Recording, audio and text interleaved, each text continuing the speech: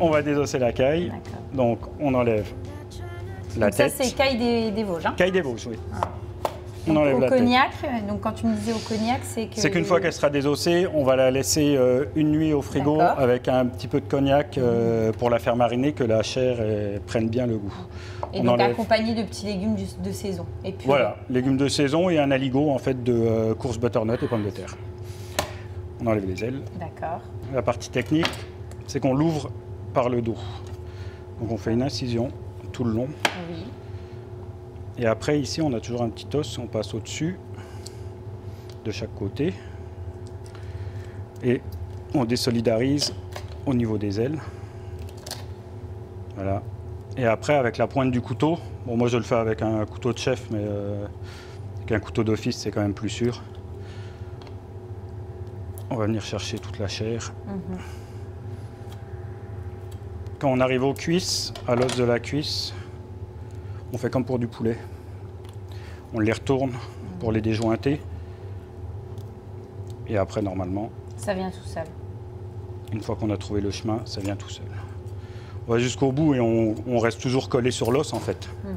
Bon, après, euh, ça, normalement, euh, si on demande au boucher, euh, il peut le faire. Ça, les bouchers, ils vont le faire. hein. Ils vont le faire ou ils vont en avoir. Ça ne sert à rien de, de se casser la tête euh, Voilà, Si on ne se sent pas de le faire. euh, Voilà. Moi je, moi, je le fais parce que les carcasses me servent à faire des, euh, mes bases de sauce. mm, Mais c'est vrai que oui, c'est beaucoup plus simple. Donc on continue à longer. En fait, là, on sépare les suprêmes avec le petit filet.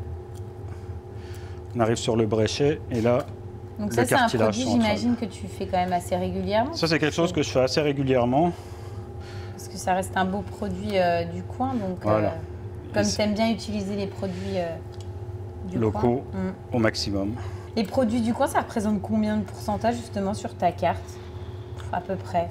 Hors poisson, parce que bon, Oui. on est d'accord que le poisson Mm. c'est assez compliqué. Je dirais à peu près euh, 90%. Ah ouais, de tout ce qui est Mm. légu- légumes, c'est euh, oui, légumes c'est 90% parce que quand on est euh, hors période de certaines choses, euh, je suis quand même obligé de me ravitailler ailleurs. Mm. Mais euh, oui, 90% facilement.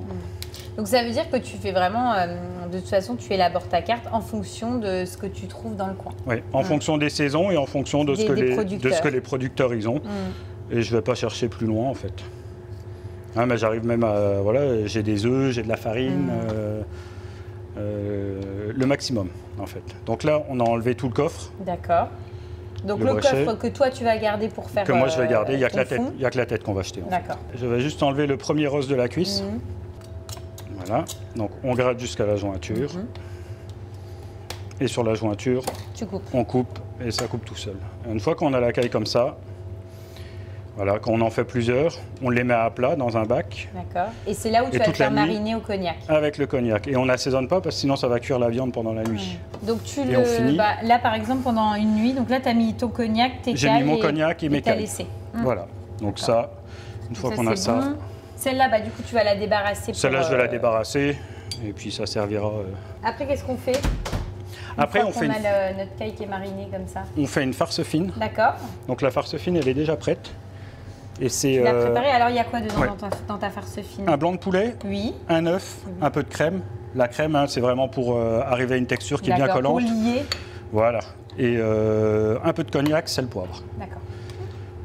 Donc ensuite, on va farcir nos cailles. Mhm. Là, c'est pas bien compliqué. Donc, tu récupères ta caille. Je récupère ma caille, je la mets bien à plat. D'accord. Donc, tu comptes quoi? Une caille par personne? Une caille par personne. Oui, oui. C'est euh, surtout que la caille des Vosges, c'est quand même généralement des euh, bons gabarits. Hein, parce qu'il y a des, des cailles qui sont beaucoup, plus petites que ça, mais là, euh, là, ça suffit largement. Avec la farce Ouais, en plus. ouais. ouais. Oui, c'est déjà pas mal. Donc hein. après, Ah, là, là tu il faut, assaisonnes. il faut bien assaisonner la chair à l'intérieur. Tu as déjà assaisonné ta farce aussi La farce est déjà Mm. assaisonnée aussi. Un petit coup de moulin à poivre Voilà, un petit coup de moulin. Et après, et ensuite tu mets ta farce. la farce. Alors, une cuillère normalement. Oui, l'idée c'est quoi? Que tu puisses quand même refermer. euh, Voilà, l'idée c'est de refermer, de reconstituer la caille et de la cuire. euh, ça fait une jolie présentation. Ensuite, on va les refermer. Et euh, ce qui est toujours un peu compliqué, c'est euh, qu'elles conservent leur forme. hmm, Alors, soit on, les- on utilise de la ficelle, que dire. ou de la crépine, Mm. ou du lard, ou on se bat toujours un petit peu avec, ou des cure-dents même. J'ai vu, c'est toujours un peu compliqué. D'accord. Et, et toi, comment tu vas faire Moi, j'ai trouvé une solution euh, qui me faisait gagner un peu de temps. D'accord. c'est que j'utilise des emporte-pièces. Donc une fois que je la referme comme ça, Mm. je la retourne, je croise les pattes derrière, je fais une petite boule. D'accord. Ah oui, tu mets. euh, Et, Et elle, voilà. va, elle va garder un sa tenue Et- et, deux, tu t'embêtes pas ni à filmer ni à. Voilà, ça va perdre voilà. temps. et quoi. ça fait en plus, euh, ça fait euh, quelque chose de beau dans l'assiette, ça fait une belle petite boule. Et quand elle va cuire, après, en service, tu, enfin, tu vas la dresser comme ça, quoi. Elle va garder en plus Voilà. la forme, donc c'est top. Je vais juste enlever l'emporte-pièce et Ouais, puis voilà.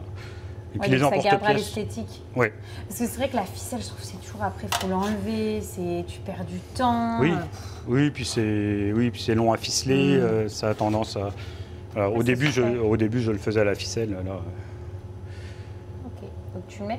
La cuisson, tu vas les cuire comment? Alors, on va juste les cuire au four D'accord, pendant euh, une petite demi-heure. d'accord, à 180-200, d'accord. Hein, jusqu'à ce qu'elle soit bien dorée sur le dessus. Donc on va mettre un petit coup de pinceau avec de l'huile d'olive. D'accord, ça c'est pour nourrir un petit peu la peau Oui, et puis, et puis, euh, ça prenne une petite coloration, c'est Voilà, ça ça va être doré, ça va être un petit peu plus croustillant. On enfourne. D'accord. J'ouvre le Donc, four ouais. Donc pendant une petite demi-heure, Vas-y. 25 minutes, une demi-heure. D'accord. À combien tu À m'as dit 200. 200. Hum, Voilà, on va lancer le minuteur Une demi-heure. et c'est parti. Ça marche pendant ce temps, qu'est-ce qu'on fait On Pendant va ce temps, surveiller. euh, ouais. On, avait lancé une ouais. euh, purée de pommes de terre et une euh, purée de potimarron. Donc on va regarder où ça en est. D'accord. Pour le potimarron, moi je mets jamais beaucoup d'eau, je mets juste un tout petit, un petit fond d'eau pour pas que ça attache. Mais elle va réduire la cuisson et ça va concentrer de toute façon le goût. Comme ça, ce sera pas perdu. euh, voilà. Là, Bah écoute, là c'est bon. hein.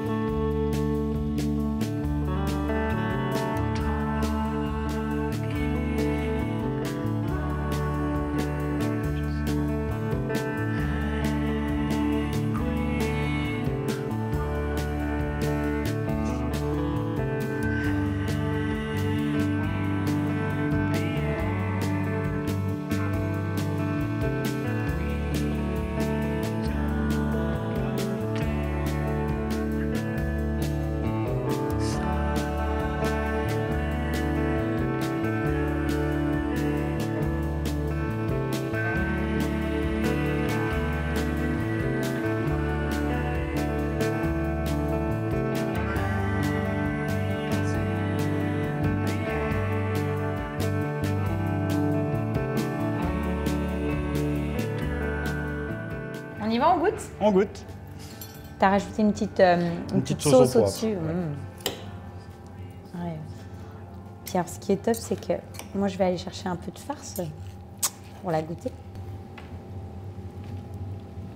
Mmh. Mmh. Ah, c'est trop bon. C'est excellent. La viande est vraiment très très bonne. La petite sauce au poivre, ça te pulse un petit peu. Et puis, tu as toute la douceur euh, avec, les la garniture, légumes. Ouais, c'est excellent. C'est simple, efficace, gourmand. Voilà, tout ce qu'on aime. Pour euh, le dessert, t'es parti donc sur, euh, sur quoi? Alors donc c'est les pâtes de sœur, D'accord. donc euh, spécialité québécoise. C'est euh, à la base une pâte feuilletée cuite dans du sirop d'érable.